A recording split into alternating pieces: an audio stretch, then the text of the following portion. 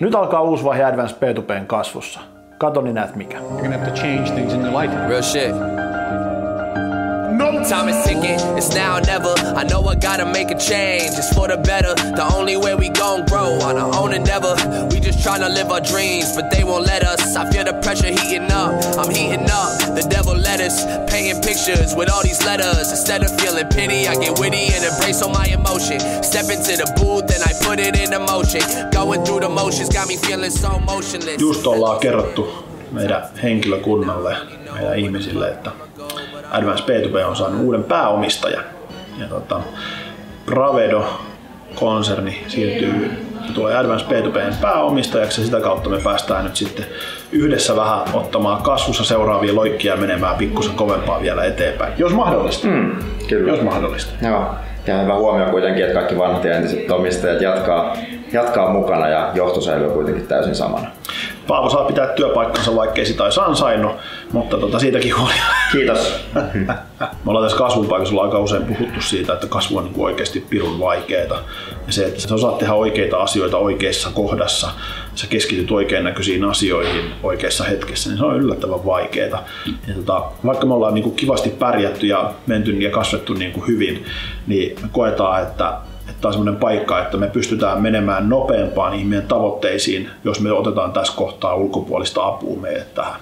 Tietysti ollaan me nyt mietitty paljon eri vaihtoehtoja, mutta tässä oli niin kuin arvopohjalta, kulttuurimielessä ja sitten taas visiomielessä, niin tässä oli kaikki kohdallaan. Ja tota, se varmasti on niin kuin primääri syy siihen, että minkä takia me koettiin, että tämä klikkasi tosi hyvin. Mennään postilaatikolle. Arka pysyy ihan samana. Edelleen me ei niin kuin P2P on samanlainen kuin P2P on ollut aikaisemminkin. Ja se, se ei niin kuin muutu millään tavalla, eikä me muututa mihinkään. Ja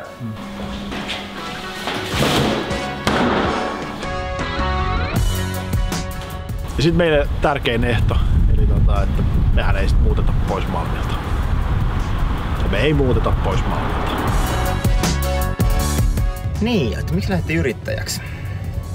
Niin ei kai ainakaan mun puolesta ei ole mitään muuta kuin se, että kun on vähän huono työntekijä, niin ei kelpaa kenellekään töitä. Ei saanut töitä. Ei saanut töitä.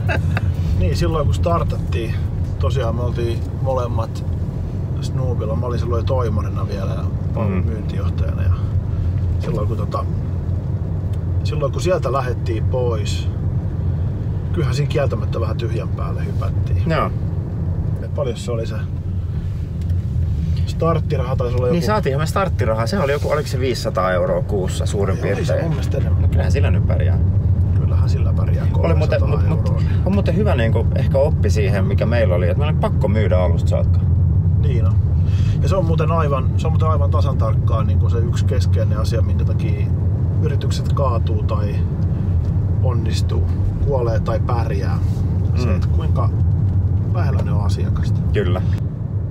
Siinä kohtaa, kun sä luulet tietäväs kaikki vastaukset, niin sä et oikeasti, se on, se on niin kuin kaikkein Te vaarallisin. edes tiedä kaikki kysymyksiä siinä Niin, vaiheessa. kyllä. Ja tota, jos ajatellaan, että kun me mietitään, että kun me firma perustettiin, mm. niin ennen kuin me mietittiin ensimmäistäkään palvelua, ensimmäistäkään firman brändiin tai identiteettiin liittyvää asiaa, nimeä mitään. Mm. Meillä oli kaksi asiaa. Meillä oli se, että me varmistetaan, että me rakennetaan tämä oikeannäköisten arvojen pohjalle ja toinen, että me keskitytään vain asiakkaan tarpeeseen ja siihen markkinaan, mikä sinne syntyy. Ja mä uskon, että niin kuin näitä kahta asiaa tekemällä oikein pärjää tulevaisuudessakin, mutta se, että nyt kun me tehdään niin kuin seuraavaa isoa hyppyä, niin mä luulen, että se, että meillä on niin kasvuun erikoistuneita ihmisiä apuna mm. ja tukemassa meitä niin kuin meidän matkalla, niin mä luulen, että se on niin kuin meille vaan ääretön voimavara. Mitä muuta me tarvittiin? Aiku vessapaperia. Niin. Ja se saippua. Maitoa. Kaikki, ketkä on mua ja Paavoa joskus nähnyt ja tietää sen, että me ollaan molemmat ihan äärimmäisen kiinnostunut kasvuyhtiön rakentamisesta. Ja se on ollut itse asiassa Advance P2Pn alusta asti meille se niin kuin suurin motivaattori, että miten me rakennetaan semmoinen kasvuyhtiö, joka pärjää ja kasvaa kovempaa kuin kilpailijat ja pärjää niillä markkinoilla, missä se tota, päättää olla. Me nähdään, että me ollaan semmoisessa tilanteessa, että meidän pitää investoida lisää. Ja sitten taas toisaalta me tarvitaan pikkusen jeesiä myös sitten ää, niin kuin hallitustasolla siihen, että me osataan ottaa se seuraava kasvuloikka, millä me painetaan sitten sinne niin kuin sanotaan, kahdesta miljoonasta kymmeneen miljoonaa kokoiselle tasolle. Se on muuten semmoinen juttu, että kun olet yrittäjä, niin aika paljon saat tehdä asioita itse. Ei ole, intimihygienia ostas herroja tai rouvia tekemässä sukan. Miten tää niinku siis käsi saippuu? Mä luulen, että mennään vähän eteenpäin jonnekin kulman taakse. Jos mä niin ajattelee markkinointiviestintäala on olla hemmetin sisäsiittoinen ala, joka tarkoittaa sitä, että täällä ei niin kuin hirveästi vaikka niin kuin teknologiaa osattu hyödyntää. Ja me nähdään, että tämän tyyppisten yhteenliittymien kautta pystytään tarjoamaan ja ratkaisemaan asiakkaiden haasteita paljon monipuolisemmin ja paljon, niin kuin, mä vihaan sitä sanaa, paljon, mä vihaan niin kuin, ihan yli kaiken sanaa, kokonaisvaltainen, mutta sillä tapaa, että meidän ei tarvi siitä niin kuin keskeisestä meidän tuottamasta arvosta niin antaa ulos jotain keskeistä palikkaa, joka vaikuttaa sen lopun laatuun. Ja me koetaan, että meidän on tärkeää pystyä olla siinä mukana. Ja koska me ollaan oltu tässä matkalla kiihdyttämässä sitä muutosta, miten tämä markkina toimii ja miten yritykset myy ja markkinoi, niin me halutaan jatkossakin olla niitä, ketkä mieluummin on siellä niin kuin avaamassa latua ja painamassa ensimmäisenä. Ja sen takia me ollaan koettu, että tämä on niin kuin pakko, pakko meille tehdä, jotta me pystytään menemään sinne meidän tavoitteisiin. Eli olla sitten se niin kuin maailman huippuluokan toimisto.